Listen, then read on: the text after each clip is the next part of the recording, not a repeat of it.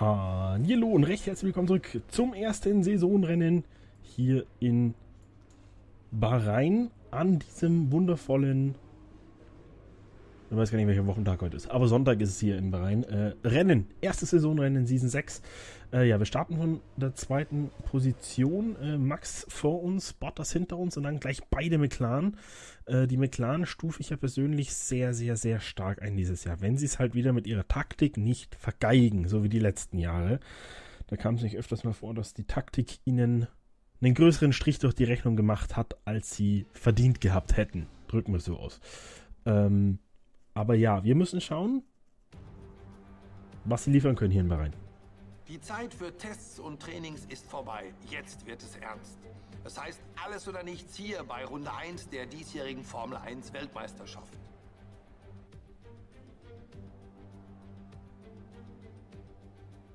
Die Formel 1 kehrt heute zu dieser spektakulären Strecke mit 5,4 Kilometer Länge mitten in der Wüste zurück. Es könnte uns ein strategisches Rennen in Saki erwarten, denn hier leiden erfahrungsgemäß die Hinterreifen extrem. Es wird also darauf ankommen, wie die Fahrer ihre Reifen managen können. Eine neue Saison, ein neuer Anfang und alles ist möglich. Das ist Neben neu. mir sitzt Stefan Römer, um mit mir den Start eines neuen Jahres in der Formel 1 zu kommentieren. Wir erleben gerade die letzten angespannten Minuten vor dem Rennen. Alle machen sich ein bisschen Sorgen um die Verlässlichkeit der Wagen, denn beim Training waren sie nicht in den heißen Luftverwirbelungen hinter den anderen Autos unterwegs und mussten auch nicht für lange Zeiträume nah an der Leistungsgrenze fahren. Hoffen wir mal, dass es für niemanden eine unangenehme Überraschung gibt. Es ist an der Zeit, einen Blick auf die Aufstellung der Fahrer nach einem aufregenden Qualifying von gestern zu werfen. Der junge Superstar Max Verstappen startet. Schumacher macht die erste Reihe komplett. Die restliche Startaufstellung sieht wie folgt aus. Bottas, Sainz, Lando Norris und Gasly, Magnussen, Leclerc, Ocon und Nobuharu Matsushita. Quert, Sette Kamara, Alexander Albon und Russell, Vettel, Latifi, Lance Stroll und Antonio Giovinazzi. Hubert, Aitken, De Vries und Jordan King. Jeden Moment werden die Startlichter ausgehen, also schalten wir runter zur Strecke für den Beginn dieses Grand Prix. Super enttäuschend ist natürlich der 15. Platz von Vettel. Als Weltmeister von hinten starten tut weh. Aber wir müssen jetzt einfach schauen, wo wir rauskommen. Weil wenn ich mir unsere Reifen anschaue, dann fahren wir hier nicht so lange mit, glaube ich. Ja, das könnte interessant werden. das könnte sehr interessant werden tatsächlich, ja. Äh, 14, wir laden mal für 17 Runden. Das sollte passen. Rennen starten. Auf geht's in Bahrain und gleich schauen wir uns auch die Helme an. Der diesjährigen Saison. Gehen wir gleich mal in die Sofortwiederholung rein. Von der Pole startet Max Verstappen. Und Max Verstappen hat einen sehr schönen Helm, der übrigens sehr gut zu unserem Auto passt, finde ich. Dieses weiß-rot mit dem Gold sieht nice aus, was Max da hat. Sieht sehr nice aus. Wir gehen eins nach hinten 33, 22, Schumi mit der 22 dieses Mal unterwegs. Bottas unverändert, Sainz, Norris, Gasly, Magnussen, Leclerc, Ocon nicht zu ändern. Jetzt haben wir hier Auto Nummer 59 in einem roten Helm und da muss ich einfach sagen, Matsushita mit diesem roten Helm sieht mega aus im Ferrari. Richtig, richtig cool. Das Rot passt richtig gut dazu von ihm. Mal schauen, ob er diesmal in dem Ferrari die ersten Rennen gewinnen kann. Sehr, sehr cool. Dahinter steht Dani Quert, die kennen wir schon.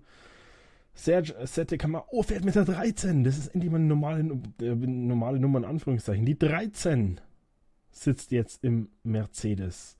Und sehr interessanter Helm passt eigentlich so gar nicht in das Auto rein. Aber ja, ist okay. Kamera mit der 13.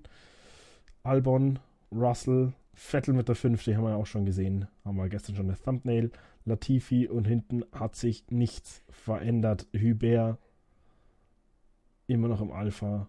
Dann haben wir Aitken, De Vries und King ganz hinten. Jawohl, so, dann machen wir uns mal auf die Einführungsrunde. Schauen wir mal an, was wir da machen können. So.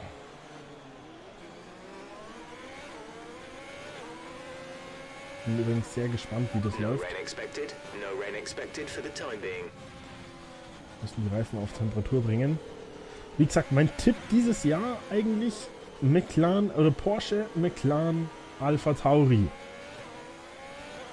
Die Autos, die ganz vorne landen sollten.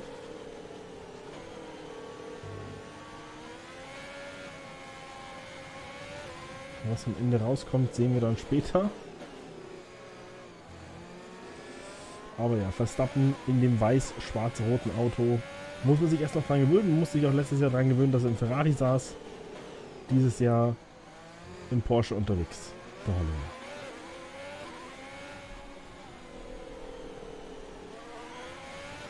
Wie gesagt, das andere Auto, die anderen Autos, die anderen Helme passen echt gut zu den Autos. Matsushita, Vettel mit dem weißen Helm im schwarz-gelben Renault geht auch in Ordnung. Verstappens Helm passt super ins Auto. Hier bei der Kurve müssen wir aufpassen. Da kann es nämlich leicht rausdrehen, wenn wir da blöd auf den Curb kommen. Sehr ausgerüstet mit dem Ferrari-Motor. Der Porsche. Letztes Jahr Renault. Die vier Saisons davor war jeweils ein Mercedes drin. Im Auto. Fehlt also nur noch ein Honda eigentlich. Aber Honda war bisher vom Motor noch nicht stark genug. Wir sind ein bisschen schneller als Max. Deswegen fahren wir da durch ihn durch. Aber wie gesagt, ich bin sehr, sehr gespannt auf die Leistung der McLaren und der Alpha Tauris, weil eigentlich sind das so die zwei Teams, die eigentlich direkt nach uns kommen müssten dieses Jahr. Während Ferrari und Red Bull sich dann um 4 und 5 streiten sollten, während Mercedes gerade mal Platz 6 haben sollte mit Bottas. Weil wenn Bottas so punktet, sollte er immer noch vor Ferrari landen. Sofern Kamara und Co. keine großen Punkte einfahren können. Großer Preis von Bahrain startet in Kürze. Auf geht's. Wir kommen gut weg, wie immer, vorbei an Verstappen, der historisch schlecht startet. Norris und Sainz auf 4 und 5 machen dann die Tür gleich mal zu. Wir kommen das sehr gut weg. Verstappen direkt hinter uns, gleich mit einer riesen Lücke auf Bottas.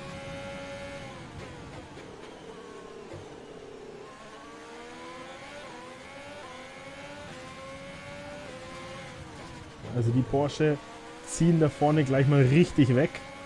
Zeigen auch gleich hier wieder in Saison 6, wer seit Saison 3 oder seit Saison seit Season 3 das Team ist, was am meisten bestimmt über den Rennkalender. Wobei natürlich diese die Strecken ein bisschen anstrengender werden für uns. So, und auch wir können Verstappen ein bisschen davon ziehen. Ähm, Verstappen ist natürlich geplant, dass wir ihn zum Weltmeister machen. Zum ersten Mal soll der Holländer Weltmeister werden. Da muss er aber auch selber einiges zu beitragen. Denn von allein wird er das nicht einfach. Und das beinhaltet auch, dass er hier schauen muss, dass er an uns rankommt. Und das tut er auch jetzt nicht. So, Verstappen saugt sich ran, setzt an zum Überholen. Wir lassen ihn vorbei, ja. Gibt uns dann einen kleinen Wackler mit, deswegen kommt Bottas direkt ran an uns. Dem machen wir direkt die Tür zu. Der Verstappen hätte ein bisschen klarer an uns vorbeifahren können, ohne dass uns Bottas direkt im Nacken hängt. Muss man jetzt schon dazu sagen. Ich weiß natürlich auch nicht, wie stark der Mercedes ist dieses Jahr, oder wir wissen es noch nicht. Wenn wir die erste Kurve anschauen, nicht allzu stark. Die gerade da hinter uns ist im Vergleich. Norris und Sainz sind an ihn dran. Werden natürlich versuchen, an Bottas vorbeizukommen. Klar, müssen sie versuchen. Wenn sie nach dem ersten Rennen gleich mal einen kleinen Vorsprung haben wollen. Gegenüber dem Mercedes. Nächstes Jahr sieht es natürlich ganz anders aus wieder bei McLaren. Wie gesagt, Sainz wird die Karriere beenden. Norris ist in Gesprächen mit Porsche. Für die kommende Saison.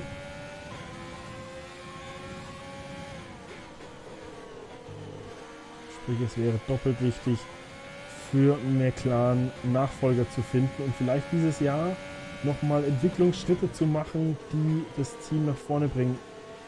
Ein Ferrari ist raus und es müsste der Ferrari von Leclerc sein. Nein, es ist ein Renault. Es ist ein Renault. Das ist die Frage, Vettel oder Pferd. wer von den beiden ist raus. Tippe auf Pferd, weil Vettel auf Papier immer noch hinter Kamara ist. Kamara übrigens auch einmal zu Cheater vorbei. Ich weiß gar nicht, wie das da ausschaut gerade da vorne. Vom Rating her oder von den Platzierungen. Nach 5 bis 5 ist klar. Danach 6, 7 müsste Gasly, Magnussen sein. 8 Ocon, 9 Leclerc. 10 Kamara, 11 Vettel, 12 Matsushita.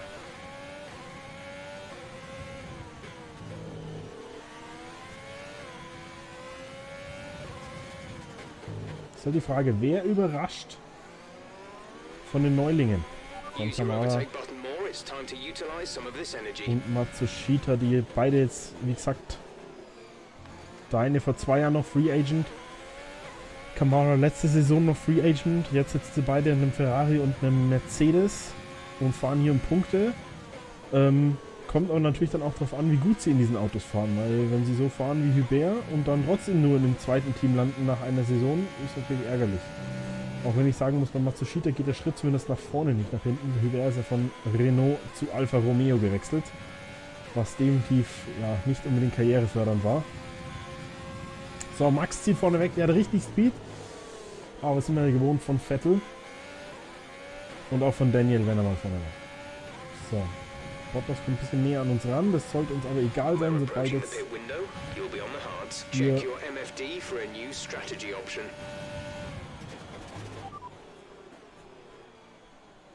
schlägt uns die Karten vor. Nee. Wir bleiben im Medium und hoffen, dass es vielleicht doch noch einen Safety Car gibt. Reifenverschleiß ist relativ hoch. Medium sollten wir bis zum Ende durchfahren können. Bei den Harten haben wir das letzte Mal immer relativ viel Zeit verloren. Wir es aber schaffen, dass wir hier eben durchkommen mit diesen Reifen oder mit den Medium-Reifen. Wäre die Mission schon mal gelungen hier mit 1 und 2. So. Sainz als auch Norris kommen nicht an Bottas ran. Das bedeutet, dass der Mercedes eigentlich wieder ganz gut funktioniert dieses Jahr. Ähm, wie gesagt, zwischen den beiden Teams liegt ja nur noch Ferrari und die Ferrari fahren aktuell um zwei Punkte. Also, wie ich befürchtet habe oder wie ich vorausgesagt habe, dass da jeweils in den großen Teams von Mercedes und Ferrari nur ein Auto ist, was wirklich in die Punkte fahren kann. Bei Mercedes ist es Bottas, die aber so aktuell zumindest durch Kamara noch einen weiteren Punkt holen. Bei Ferrari wird es aber nur Leclerc sein. Auch wenn Matsushita die Möglichkeit hat, um Punkte zu fahren. Ich glaube nicht, dass er es dauerhaft tun wird.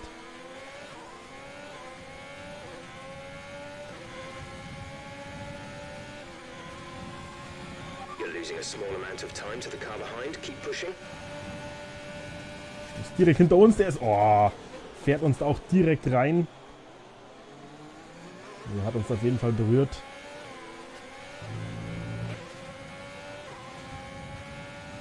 Zwei, dreimal. So, Norris ist jetzt direkt dran an ihm.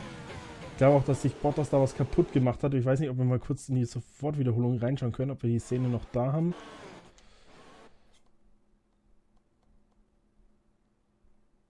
ist Bottas Nase beschädigt. Ich sehe es von hier nicht. Sieht nicht so aus. Jetzt zieht er hier innen rein. Direkt neben uns. Ne, muss zurückziehen. Aber da kommt halt jetzt Norris dann direkt ran. Weil ich das sagen muss, hat der Mercedes auch wieder unfassbar gute Speed. So dass Norris dann nicht weiter rankommt. Muss man ihm lassen.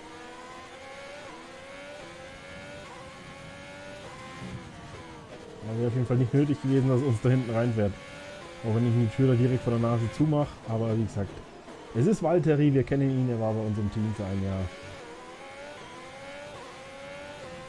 Und er streckt vor einem Zweikampf nicht zurück, der Finne.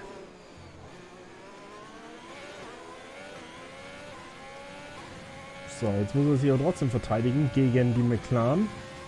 Weil er da wieder einige Zeit vor Norris ist, der von 5 gestartet ist, ist da anscheinend an Sainz vorbeigekommen beim Start. Sainz versucht ihn jetzt auch wieder anzugreifen. Ich weiß nicht, ob das die richtige Taktik ist, die die McLaren da fahren, dass sie sich eher gegenseitig bekämpfen als...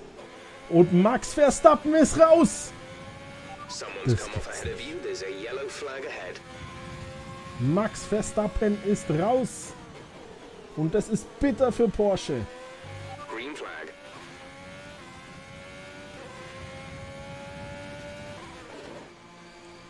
Das ist bitter für Porsche. Das ist ganz bitter für Porsche.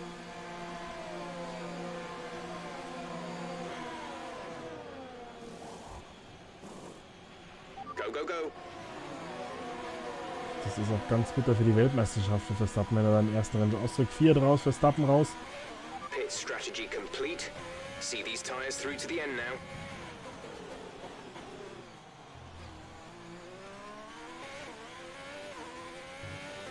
Schumacher 20. nach dem Boxenstopp. Will jetzt natürlich mit dem Medienreifen durchfahren, klar. Das bedeutet aber auch, dass aktuell Vettel in die Punkte reinrutscht auf Platz 10 im Renault. Aber super bitter. Verstappen so einen Vorsprung gehabt. Zack, ist er raus. Und auf einmal muss Schumacher schauen, dass er das Rennen für sich gewinnt. Max has dropped out the race. Und das nächste, was natürlich da wieder super ärgerlich ist, bei Verstappen, wie bei Bottas damals in Australien, durch das Ausscheiden verliert er 25 Punkte in der Weltmeisterschaft. Sprich, Vettel hat es letztes Mal in Singapur verkackt, da ist es nicht so schlimm. Aber wenn er jetzt natürlich schon mit 25 Punkten Rückstand startet und jetzt die nächsten Rennen nicht direkten Anschluss findet, kann es halt sein, dass das nichts mit dem Weltmeistertitel wird. Wir denken an Bottas. Gut, Bottas wollten wir nicht Weltmeister werden lassen, das kommt natürlich auch noch dazu. Aber dennoch. So, ich vermute mal, dass einige Teams jetzt reinkommen. So sieht's aus. Einige fahren aber auch weiter. Und in der Box ist aber zum Beispiel Bottas. Und Bottas hat einen Platz an einem McLaren verloren. Sainz ist vorbei. Bottas mit harten Reifen. Verkalkuliert sich Mercedes wieder. Das war doch letztes Jahr oder vorletztes Jahr auch schon so. Wo sie Ricardo, glaube ich, da mit harten Reifen rausgeschickt haben und Ricardo einfach 6, 7 Sekunden nochmal verloren hat.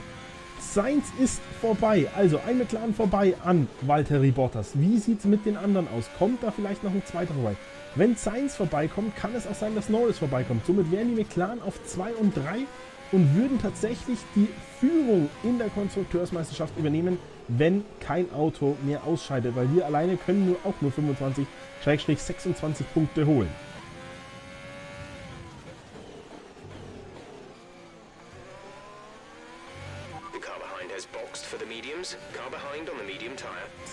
Kommen an Jack Aitken langsam ran. Wichtig zu sehen ist, dass wir so viel Vorsprung auf Bottas haben. Bottas musste richtig Zeit verloren haben durch die Boxenstops hinter ihm. Weil 8 Sekunden sind schon ein Ausrufezeichen.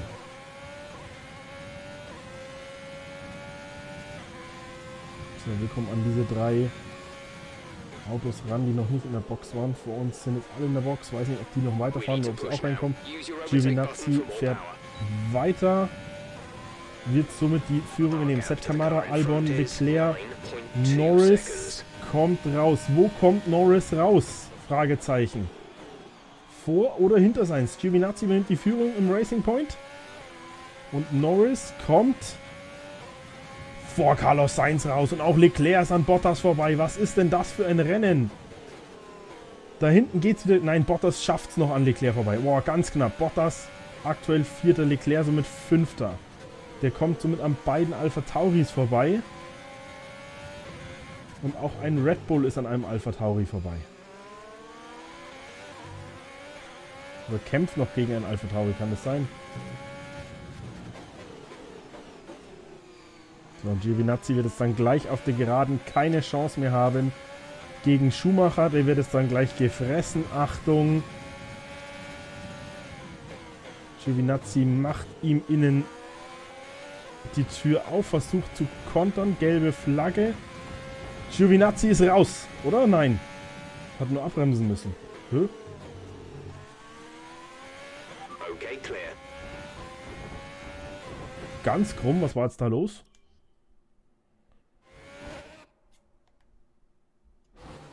Giovinazzi hat's gedreht. Oh, den hat's gedreht. Den hat's gedreht bei unserem Überholmanöver. Wollte da kontern, kommt dann schon irgendwie auf die dreckige Fahrspur und muss gegenlenken. Deswegen die gelbe Flagge. Aber wie gesagt, wie ich gesagt habe, die zwei McLaren unfassbar stark unterwegs.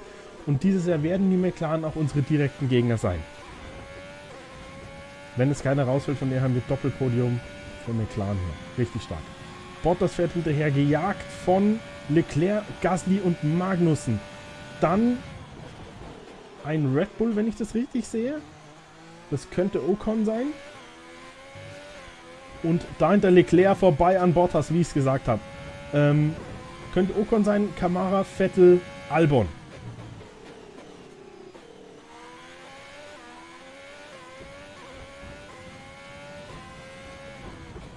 Muss man gleich mal schauen, wer da noch in die Punkte reinkommt. Ob Albon das reicht für die Punkte. Matsushita geht auch alles direkt hinter Albon. Aus meiner Sicht sollte es aber beiden nicht mehr in die Punkte sein. Muss man gleich auf die Geraden mal gucken. Oh, da haben wir uns uns mal ordentlich verbremst. Macht nichts. Rausbeschleunigen, Gas geben. Äh, genau, bis 5 wissen wir. 6, 7 Alpha Tauri, 8 Kamara, 9 Vettel ist der letzte in den Punkten. Also ein Red Bull und ein Ferrari ohne Punkte. Also gleiches Schicksal wie bei uns praktisch. Leclerc holt aktuell 12 Punkte, Bottas 10 Punkte. Da kommt aber kommen noch 4 Punkte dazu von Camaras mit 14 Punkte. Muss man nur sagen, dass McLaren halt richtig abräumt hier. 18 und 15 Punkte, aktuell sind 33. Würden somit die Führung in der Weltmeisterschaftswertung übernehmen.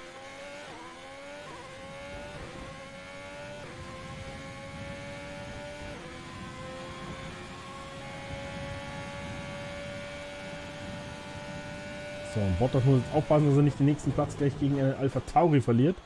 Aber dann wäre ich ein Alpha Tauri plötzlich auf Position 5. Und ich kann es mir aber tatsächlich gut vorstellen. Hier kommt er. Achtung, Gasly ist auf 5. Also wie gesagt, dieses Jahr oder zu Beginn dieser Saison wenig überraschend die Alpha Tauris mal wieder besser als die beiden Red Bulls. Woran das liegt, fragt mich bitte nicht. Das kann ich euch nämlich nicht erklären. So, hier kommen wir ein bisschen weiter raus. Kommen wir wieder auf die Strecke zurück. Alles gut. Sind wir noch auf der Jagd nach Verstappens Bestzeit. So, Kamara hinter Magnussen. Magnussen hinter Bottas. Magnussen will natürlich jetzt den sechsten Platz haben. 5 und 6 werden 18 Punkte. Aktuell holen sie nur 16 Punkte. Aber immer noch mehr als Ferrari. Und Mercedes. There's five laps of fuel remaining.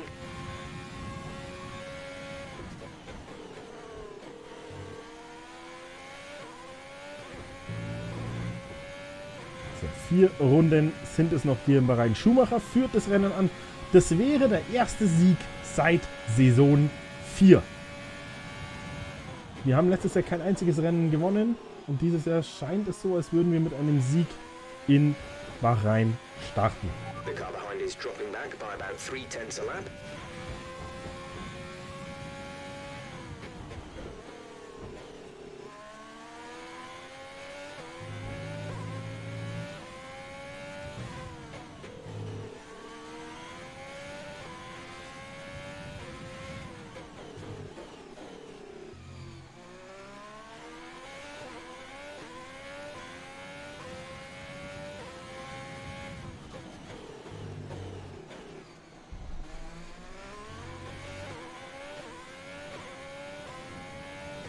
So, Magnussen, by the way, mittlerweile an Bottas dran.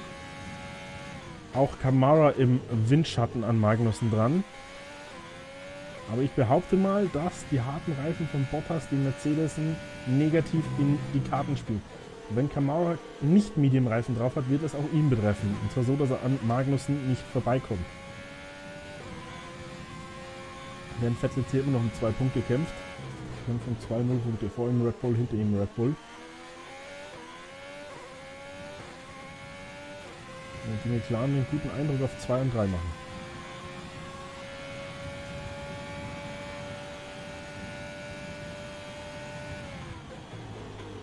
Nächstes Rennen ja in Vietnam, in Hanoi. Da bin ich schon sehr gespannt. Das ist das erste Mal, dass wir auf dem neuen Kurs unterwegs sind.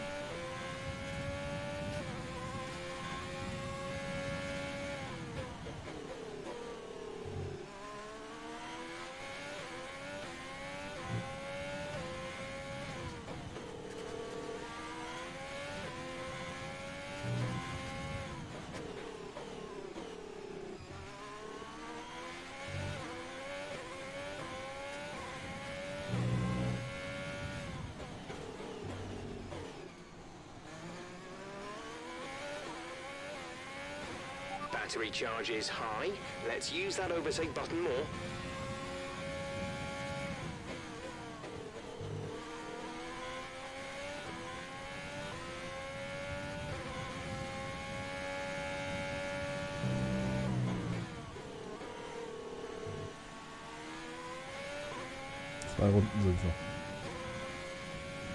Was macht Magnussen? Schafft es der McLaren noch vor, äh, McLaren sich an Mercedes noch weit? Gasly hat da richtig Abstand.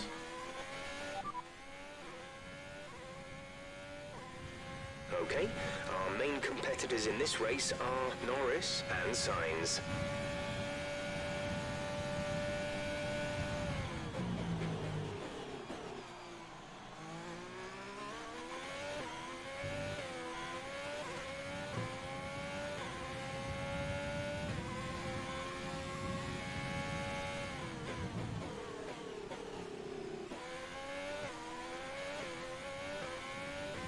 Couldn't receive that. Repeat the message. Nichts gesagt. So. Kommen hier durch Verstappen hat halt die schnellste Runde gefahren. Das heißt, er nimmt aktuell einen Punkt komplett raus. Das ist natürlich blöd.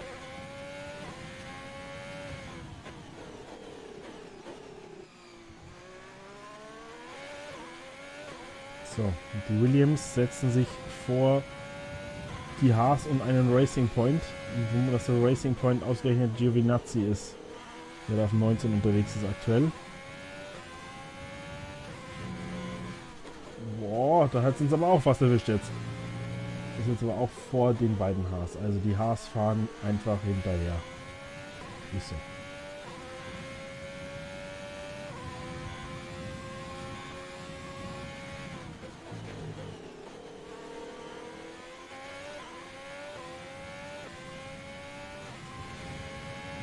Letzte Runde dieses ersten Grand Prix dieses. Jahr.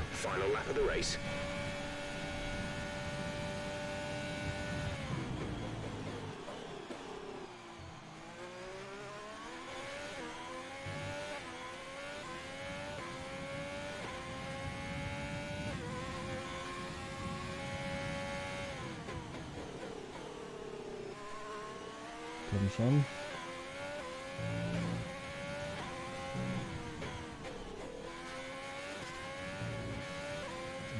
Weiterfahren.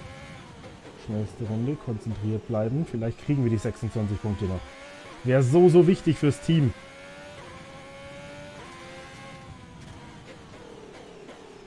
Wären so, so wichtig fürs Team, wenn wir die hinkriegen.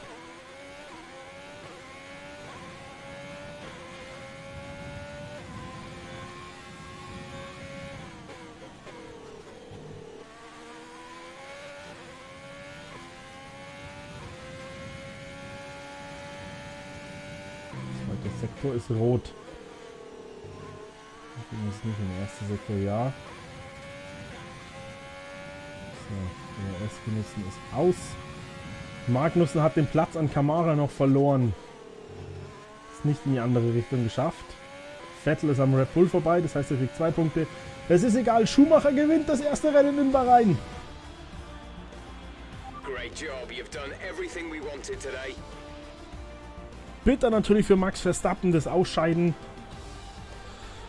Fahrer des Tages Sebastian Vettel von 15 auf 9. Nach einem turbulenten Verlauf ist dieses Rennen also schließlich zu Ende. Also Stefan, was hat heute da draußen den Unterschied gemacht? Das war ein echter Teamsieg. Aber was ein Ausrufezeichen von McLaren. 2 und 3. Der Fahrer hat alles getan, was von ihm erwartet wurde, um den Plan des Teams perfekt umzusetzen. Ein glänzendes Beispiel Weltmeister auf dafür, neun. dass das hier ein echter Teamsport ist. Also mich hat dieses spektakuläre Rennen schon ziemlich ausgelaugt, aber ich bin mir sicher, dass die Fahrer darüber nur lachen können.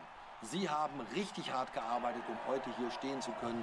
Und es ist schön zu sehen, dass es sich für sie gelohnt hat.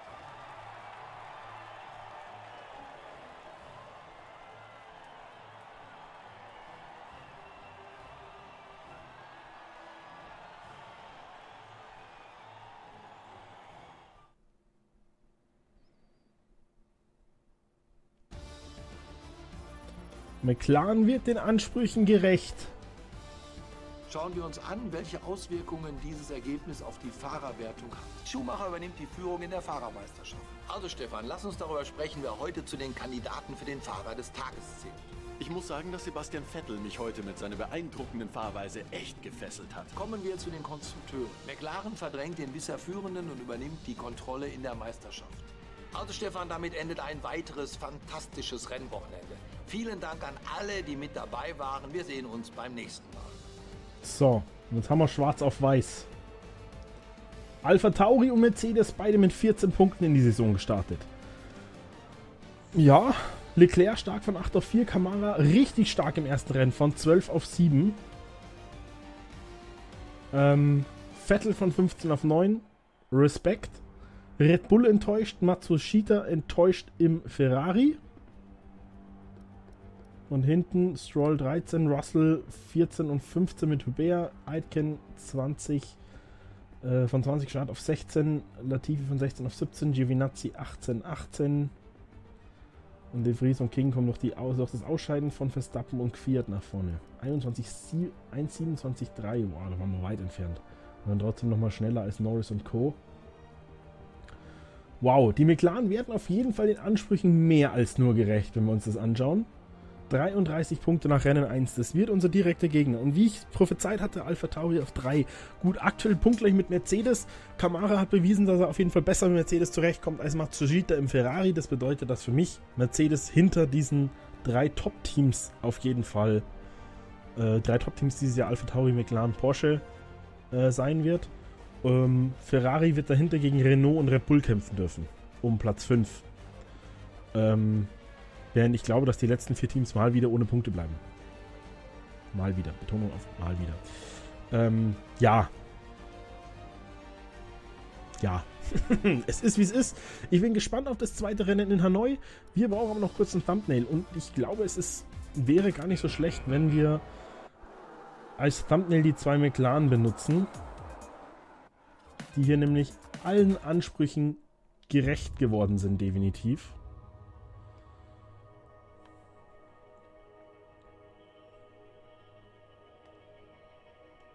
Definitiv allen Ansprüchen gerecht. Also das ist, was die geleistet haben in diesem Rennen, ganz, ganz stark. Ganz, ganz stark aus meiner Sicht.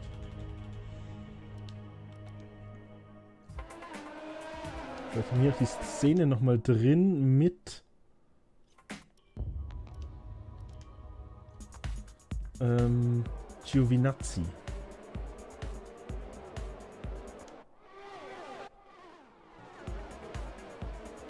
War das direkte Duell mit Bottas. Rausbeschleunigen, gar kein Problem. So, jetzt kommt der Crash mit Bottas gleich.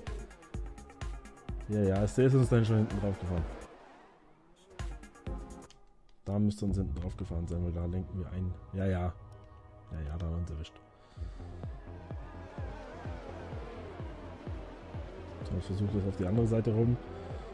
Und dann muss er halt vom Gas gehen, weil er sieht, dass wir da deutlich besser in die Kurve reinkommen und dadurch kamen auch die anderen näher ran. So, das war schon. Müsste jetzt eigentlich dann gleich die Szene mit Giovinazzi kommen. So, jetzt kommt das Überholmanöver gegen Giovinazzi und sehen wir es gleich. Wir ziehen innen vorbei.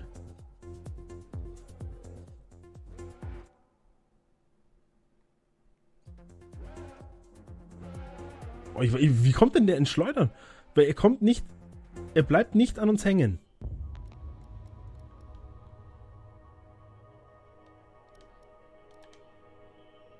Er bleibt nicht an uns hängen.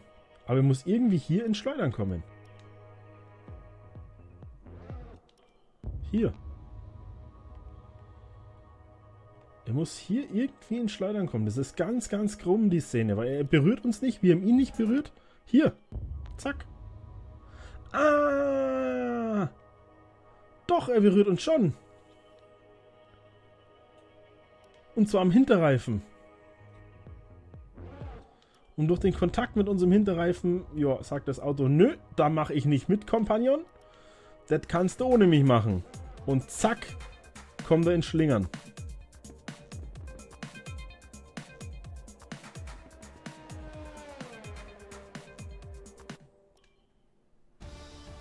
Tja, dann wissen wir es ja. Aber starkes, starkes erstes Rennen von uns und auch von den McLaren. Großartige Leistung da draußen. Ich nehme an, Sie sind recht zufrieden damit. Es geht doch nichts über einen Sieg auf dieser Strecke, habe ich recht?